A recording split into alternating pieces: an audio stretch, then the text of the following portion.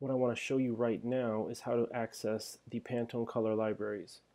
Now the file that I have open here, you can just disregard for now because we're just strictly going to go to the library that we want. And it's in our swatches. So I can go to Window or View. Oops, sorry. I can go to Window, Swatches or I can click this here. That's my swatches and just break it off. Now here you're going to find your additional menus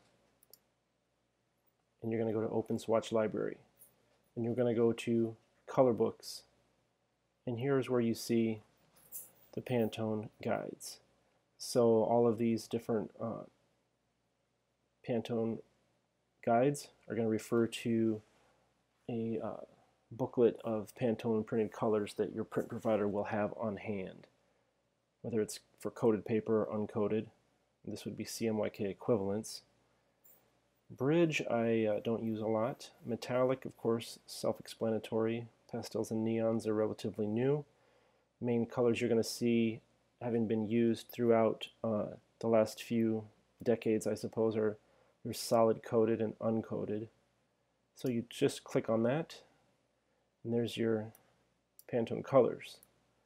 What I like to do for a better view is again go to a submenu and adjust my view by name. I'm going to go to large list view and here you go.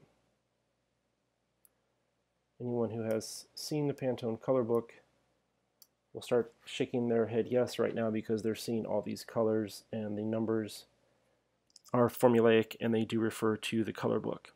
So in the color book, that's where your print provider will have the formulas to mix this ink. So there you go. And now the one last thing I want to show you is how to convert uh, some of the colors that you have already currently in your document to Pantones. So this is a gradient here. So I'm going to open up my gradient so I can adjust the color. Gradient. And here's what we have is this red.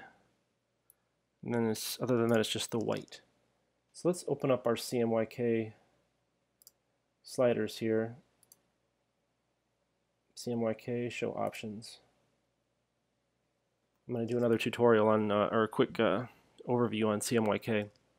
So here you can see that this red, if I click on it now, that shows up in your CMYK equivalents.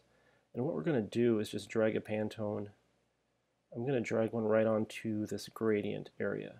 I could also drag it into um, the swatches directly. Now where did my swatches go? Window, swatches. Here we go. So I'm going to find a red that I like.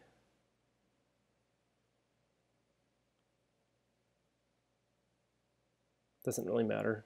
Here we go. Here we go. 485. Look, I can drag it there, or I can drag it here. Just dragged it on, I'm just going to pull this one off. Now I have a color separated document. And the way you check, the way you test that is you go to your uh, window, separations preview, and something must you probably need to go to overprint preview in your view. View again I had to get overprint preview.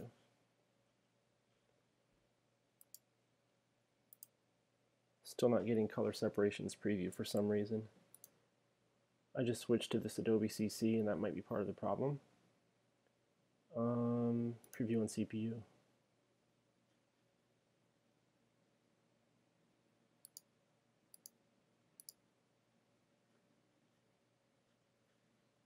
you know, you can see right here this gradient slider.